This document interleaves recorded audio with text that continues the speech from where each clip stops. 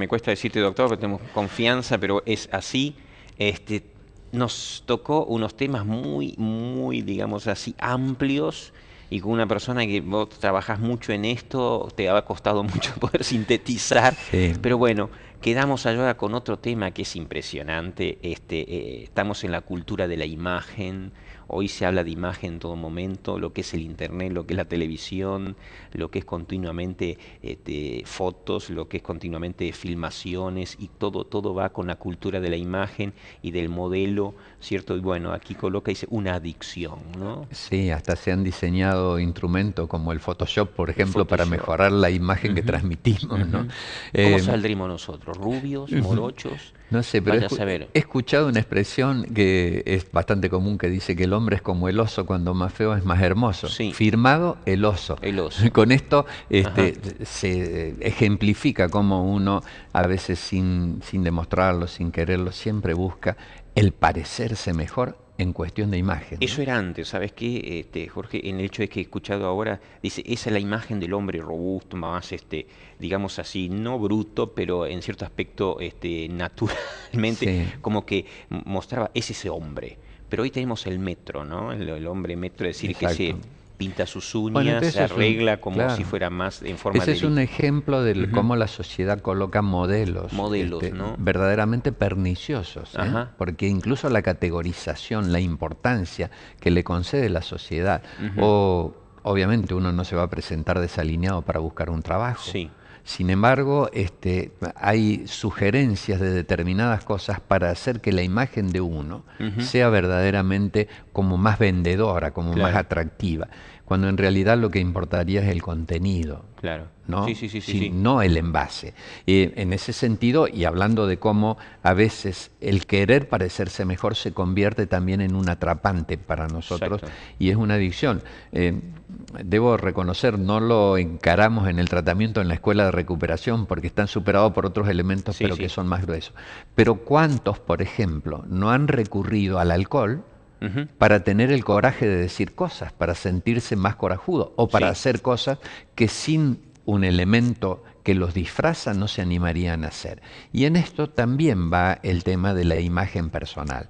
Bueno, hay algunos otros aspectos y hablábamos de la ambición de parecer como que uno está ostentando poder, como ser el atavío, la, vestimenta, eh, digamos, el, el, coche o un montón de cosas que no está malo tenerlos, pero que no se deben transformar en ningún momento en un condicionante de lo que queremos tener para parecer lo que en realidad muchas veces no somos. ¿no? Yo digo, ¿cómo esto de la cultura de la imagen distorsiona, ¿no?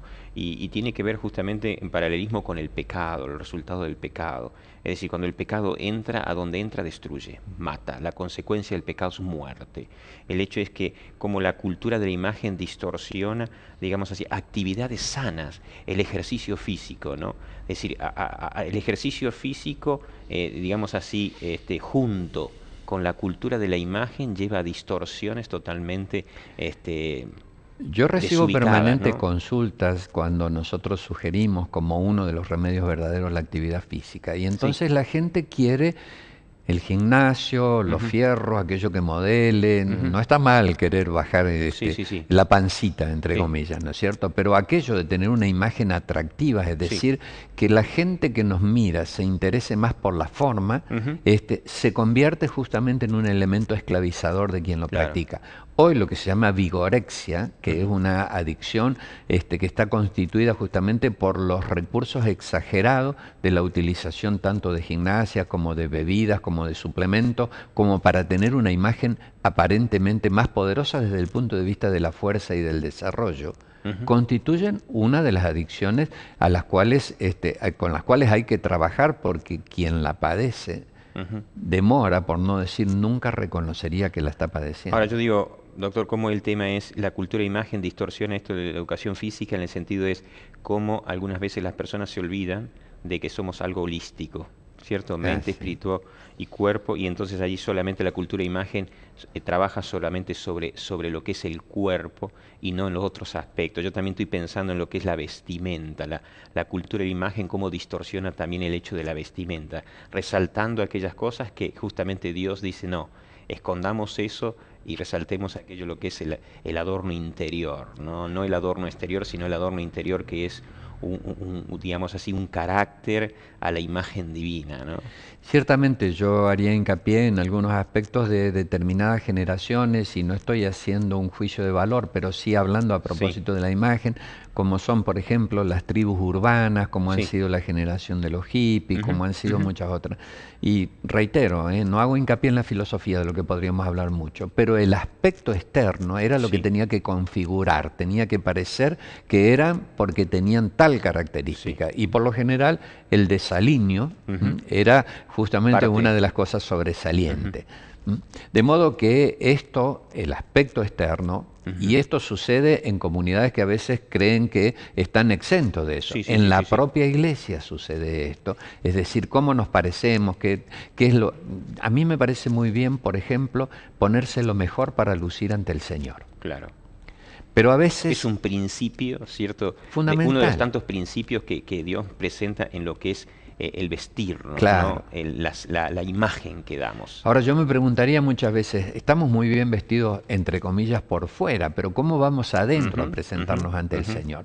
Por esto esto no hay que, eh, digamos, dejar de asociarlo a que la imagen externa debe tener en cuenta siempre la imagen interna. Dios no mira las apariencias, sino que Él conoce el corazón. De modo que si nosotros estuviéramos más preocupados por tener una imagen que a Dios sea agradable, nos despreocuparíamos dentro de lo correcto, de lo que es la imagen externa. Es decir, sería, un extremo sería tapar nuestro vacío con una imagen y el otro sería no tener, justamente no preocuparnos por la imagen, cuando es un resultado, es un fruto. ¿no? Por eso allí la Biblia presenta este, principios, este, lo tengo allí en 1 Timoteo y en 1 Pedro, dice allí tres principios, dice decoro, pudor y modestia, y habla allí, ¿cierto?, en 1 Timoteo capítulo 2, versos 9 y 10, y luego dice, con buenas obras, dice cómo corresponde, un sentido común, habla y dice las buenas obras como corresponde a todo hijo de Dios en la santidad.